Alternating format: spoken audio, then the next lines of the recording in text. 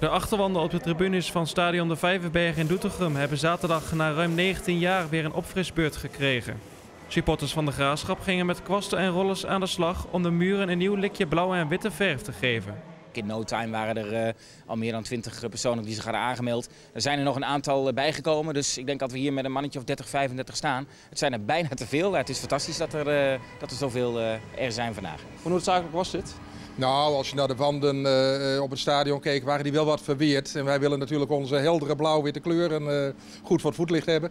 Uh, in die zin was het wel, is het goed dat het gebeurt om het stadion weer echt ons stadion te laten zijn. En u hoeft geen schilders in te hoeren?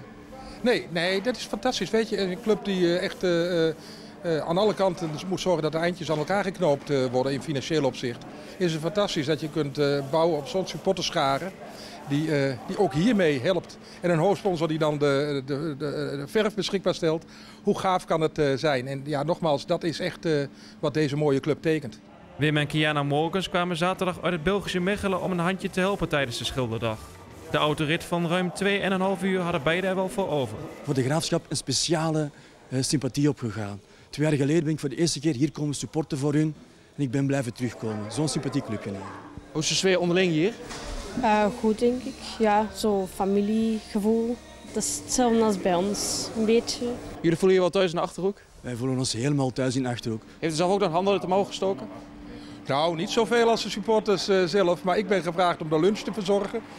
Nou, ik moet eerlijk zeggen, ik schaam me er een klein beetje voor. Want het was meer de, het uitserveermoment en de broodjes klaarleggen. Maar als ik zo een bijdrage kan leveren, doe ik het graag. Wat is het volgende project?